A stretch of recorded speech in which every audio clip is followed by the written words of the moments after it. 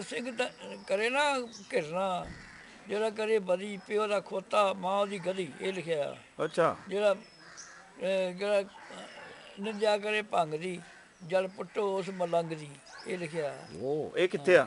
ਹੈ? ਇਹ ਕਿੱਥੇ ਲਿਖਿਆ? ਇਹ ਸਾਡੇ ਜਿਹੜੀ ਸਰਵਲੋ ਗ੍ਰੰਥ ਉਹਦੇ ਵਿੱਚ ਇਦਾਂ ਦੀ ਗੱਲਾਂ ਸਾਬਲੋ ਗ੍ਰੰਥ ਅੱਛਾ ਸਾਬਲੋ ਗ੍ਰੰਥ ਬਾਣੀ। ਆਲ ਭਵਾਨੀ ਸੀ ਮਾਇਆ ਜਾਂ ਕੋ ਨਾਮ इसमें सर एक क्षण पूर्ण होता काम ये ये सर्वलो का ग्रंथ है हाँ।